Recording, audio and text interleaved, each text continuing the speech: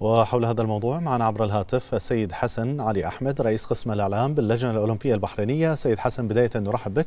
ولو تحدثنا عن أهمية رعاية سمو الشيخ خالد بن حمد لهذه الفعالية في رفع مستوى المنافسة وأيضا عن أهداف وأهمية اليوم الأولمبي بشكل عام. بلا شك آه، رعاية سمو الشيخ خالد بن حمد لهذه الفعالية وحضور وتواجد سموه في فعاليات اللجنة الأولمبية ليس بغريب على سموه.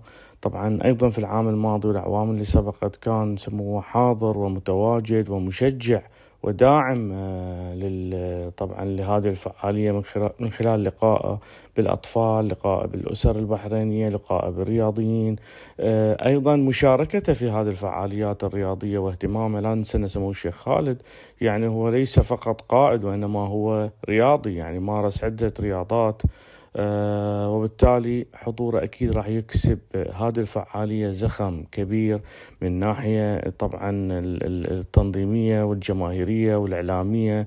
ولا شك أن حضوره يشكل حافز وتواجده أيضا يعطي الحدث يعني أهمية كبيرة ويؤكد بما لا يدع للشك بأن سمو دائما هو موجود في قلب الحدث وداعم لكل الرياضيين.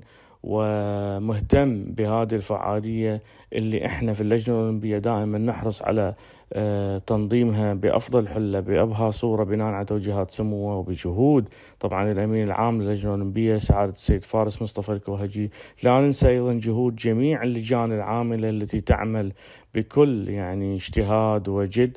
طبعا آه، أمس كان يوم جمعة كان يوم إجازة لكن آه، الموظفين اللجنه الاولمبيه كانوا يعملون كخلية نحل كانوا متواجدين منذ الصباح الباكر أمس حتى ساعات متأخرة من الليل يعني للاعداد والتجهيز والترتيب لهذه الفعالية.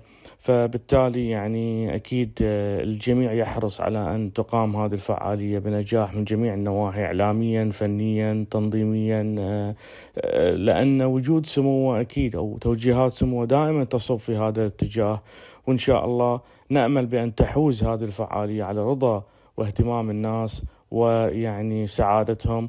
إحنا اخترنا اليوم يوم السبت ويوم إجازة حتى تكون الفعالية متنفس للاسره البحرينية. ولا ننسى إن يعني أهداف اليوم الأولمبي دائما هي تصب في التشجيع على ممارسة الرياضة ولما لها من انعكاسات إيجابية على تعزيز الصحة البدنية والنفسية. أيضا اليوم الرياضي يهدف إلى تعزيز القيم الأولمبية الاحترام السلام الالتزام التعاون. مثل ما نعرف إحنا الرياضة تقدم رسالة نبيلة للمجتمع تعطينا قيم تزرع في المجتمع الأخلاق. فبالتالي يعني أكيد اقامه هذا اليوم الأولمبي إحنا ننشر هذه الرسائل للمجتمع بالإضافة لما يعني تمثل الرياضة من أهمية كبيرة في حياة الشعوب وباعتبارها طبعا أسلوب حياة، طبعا الهدف الأساسي من اليوم الأولمبي هو يقام تحت شعار فن نتحرك فهي رسالة للجميع للتحرك وممارسه النشاط البدني من أجل الصحة. إذا السيد حسن علي أحمد رئيس قسم الإعلام باللجنة الأولمبية البحرينية شكرا جزيلا لك